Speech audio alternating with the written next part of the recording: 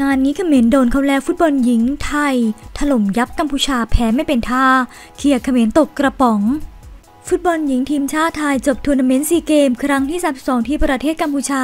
ด้วยการเอาชนะชาติเจ้าภาพชบาแก้วทีมฟุตบอลหญิงทีมชาติไทย คว้าเหรียญทองแดง ในการแข่งขันกีฬาซีเกมส์ครั้งที่ 32 หลังเอาชนะเจ้าภาพกัมพูชา 6 ต่อ 0 ในรอบชิงอันดับ 3 ที่โอลิมปิกสเตเดียม กรุงพนมเปญ โดยเกมนี้โคดกลางนฤพลแก่นโซนหัวหน้าผู้ฝึกสอนทีมบอลหญิงไทย จัดผู้เล่นลงแบบเต็มสูบทั้งการจนาพร แสนคุณ จิราพรมงคลดีนัทวดีปร่ำนาค อรพินแหวนเงิน และสวรักษ์เพลงงามเป็นต้น เริ่มต้นเกม ไทยเป็นฝ่ายครองเกม บุกอยังหนัก และได้โอกาสลุ้นหลายครั้ง จนมาประสบความสำเร็จในนาทีที่ 16 จากจังหวะที่พัทรนันอุปชัย เปิดทางด้านขวาบอลไปเข้าหัวสวรักษ์ มงเต็มๆ เข้าประตูไปทำให้ไทยออกนำ1ต่อ0จากนั้นในนาทีที่ 25 ไทยก็นำต่อเป็น 2 ต่อ 0 ได้จากการทำประตูของจิรพรมงคลดี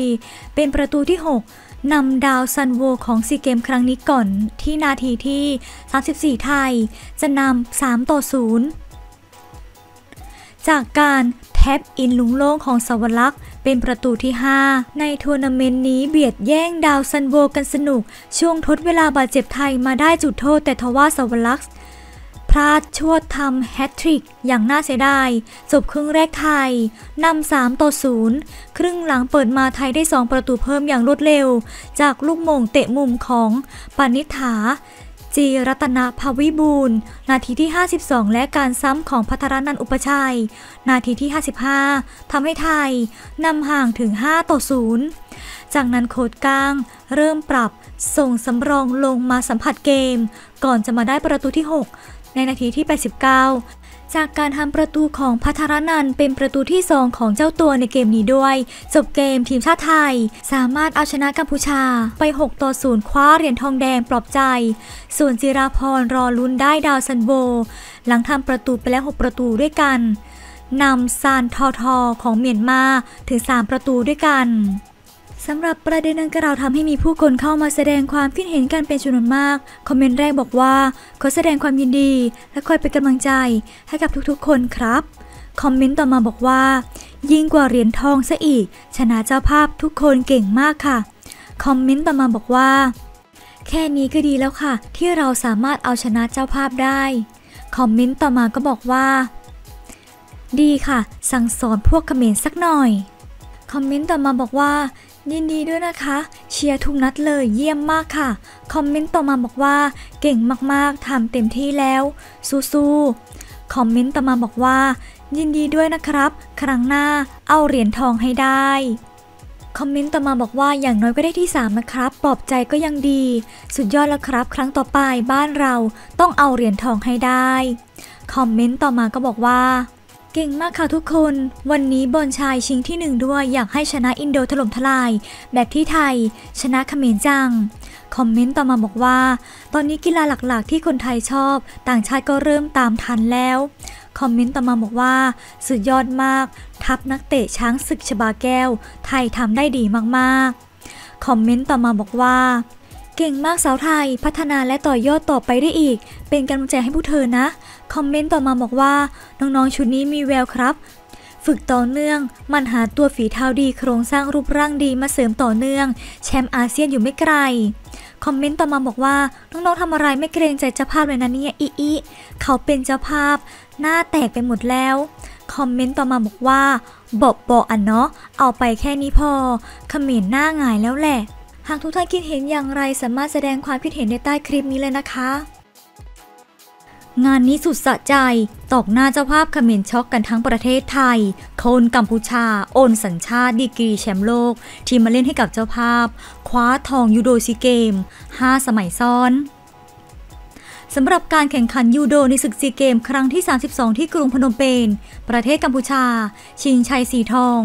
รุ่นน้ำหนักไม่เกิน 73 กิโลกรัม ประเภทชาย มาซายุกิ เทราดะ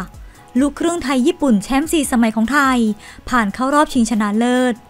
สามารถเอาชนะอูโนะชินทาโร่แชมป์โลกปี 2018 จากญี่ปุ่นที่โอนสัญชาติมาเล่นให้กับกัมพูชา ปรากฏว่ามาซายุกิ เทระดะ พลิกสถานการณ์ จากตามหลังทำอิปปง เก็บชัยชนะ คว้าเหรียญทองไปแบบสะใจ ทั้งยังเป็นเหรียญทองสมัยที่ 5 ติดต่อกัน ของมาซายุกิ เทราดะอีกด้วยมาซายุกิเทราดะเผยว่าดีใจมาก ที่สามารถคว้าเหรียญทองสมัยที่ 5 ติดต่อกันได้สำเร็จ หวังว่าจะป้องกันแชมป์ได้อีก จากนี้มองไปที่เอเชียนเกมส์ที่จีน ในเดือนกันยายนนี้ซึ่งจะเป็นเอเชียนเกมส์ครั้งที่ 3 ของตน หวังติดเหรียญรางวัลให้ได้สักครั้ง เพื่อต่อยอดไปยังโอลิมปิกเกมส์ให้ได้โดยก่อนหน้านี้ Khmer Times สื่อกีฬาของกัมพูชาเคยรายงานว่าทีมชาติกัมพูชา เตรียมโอนสัญชาติ 3 นักกีฬายูโด จากประเทศยูเครน มาลงแข่งขันในซีเกมส์ 2023 ในช่วงวันที่5-17 พฤษภาคม โดยอีมิลเรเยส ผู้อำนวยการกีฬาแห่งชาติของสหพันธ์ยูโดแห่งฟิลิปปินส์กล่าวว่าหนึ่งใน3คนที่โอนสัญชาติมา ถูกกำหนดให้มาลงแข่งขันในรุ่น 66 กิโลกรัมชาย ซึ่งชูเกน นากาโนะแชมเปี้ยนตัวเก่งของฟิลิปปินส์อยู่ด้วยนั่นเอง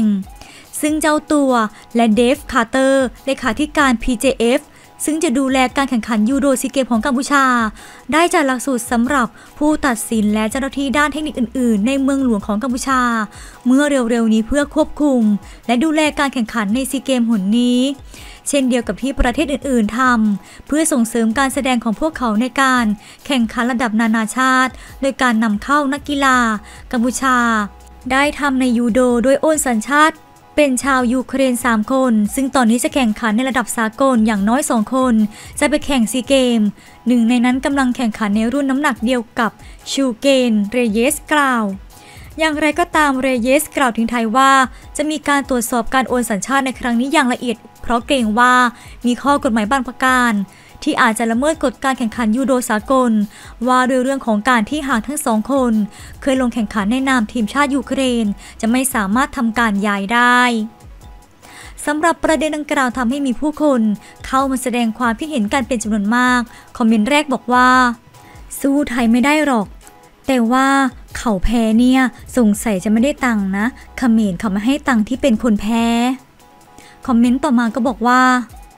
งงกับเขมรนะ แทนที่จะเอาเงินแบบนี้ไปลงทุนให้กับคนในชาติฝึกจะได้เก่งๆ แต่เลือกจะเน้นโอนสัญชาติอื่นมาทดแทน คอมเมนต์ต่อมาบอกว่า คนในประเทศมีแต่ไปสนับสนุนคนต่างประเทศทำไปเพื่ออะไร คนต่างชาติยังไงยังไงก็คนต่างชาติจะมาให้รักประเทศเขมรมันเป็นไปไม่ได้ ประเทศเขาก็มีอยู่บ้านเขามีโอกาสมากกว่าอยู่เขมรเสียอีก คอมเมนต์ต่อมาบอกว่า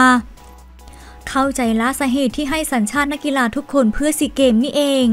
คอมเมนต์ต่อมาบอกว่าคิดถึงประชาชนตาดำๆในชาติบ้างนะเขมรคอมเมนต์ต่อมาบอกว่า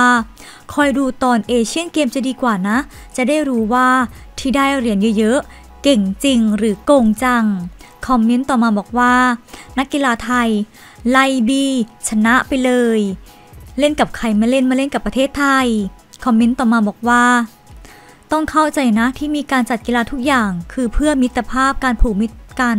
การที่ใครจะชนะหรือแพ้มันไม่สำคัญ ไม่ใช่จะแข่งกันเอาเป็นเอาตาย คอมเมนต์ต่อมาบอกว่า ได้อะไรจากซีเกมส์ล่ะสุดท้าย ต้องมาโพสต์ขอทานอยู่ดี คอมเมนต์ต่อมาบอกว่า จบซีเกมส์ประเทศในอาเซียน จะคบกัมพูชาไหมเนี่ยคอมเมนต์ต่อมาบอกว่า ประชาชนไม่มีจะกิน ดันเอาเงินไปซื้อตัวนักกีฬาเสียอีก คอมเมนต์ต่อมาบอกว่า เสียเงินไม่ว่าเสียหน้าไม่ได้นะสิคเมนน่ะ คอมเมนต์ต่อมาบอกว่า ให้เขาทำไปเถอะ ชาติพันธุ์ตัวเองไร้ศักยภาพนะสิ ไม่สนับสนุนและปูพื้นฐานให้คนตัวเอง ชอบซื้อความสำเร็จมากกว่าสร้างเอง คอมเมนต์ต่อมาบอกว่าเสร็จจากซีเกมเรียนเชิญมารับจ้างขุดมันที่ประเทศไทยนะครับ คอมเมนต์ต่อมาก็บอกว่าสงสัยเขาคงจะภูมิใจมากที่เห็นคนชาติตัวเองไม่มีน้ำยา จนต้องจ้างคนต่างชาติทำผลงานแทน คอมเมนต์ต่อมาบอกว่าทำให้คนในชาติไม่มีความภูมิใจ ในความเป็นคแมรเท่ากับยังไม่มีเอกราชของตัวเอง ประชาชนไร้การศึกษาปกครองง่าย แต่ชาติล่มสลายง่าย ๆ ด้วยผู้นำประเทศ แบบนี้ คอมเมนต์ต่อมาบอกว่า ไม่พัฒนาคนของตัวเอง สอนให้คนในประเทศไล่เคลมเพื่อนบ้านอย่างเดียว ส่วนงานพัฒนาศักยภาพ ซื้อเอา คอมเมนต์ต่อมาบอกว่า มันมีอะไรที่น่าภาคภูมิใจบ้าง เท่าที่นึกออก สงสัยจะมีแต่กำแพง คอมเมนต์ต่อมาบอกว่า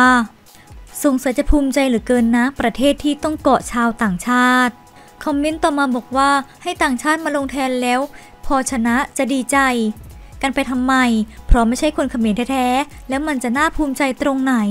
หากทุกท่านคิดเห็นอย่างไรสามารถแสดงความคิดเห็นในใต้คลิปนี้แล้วนะคะ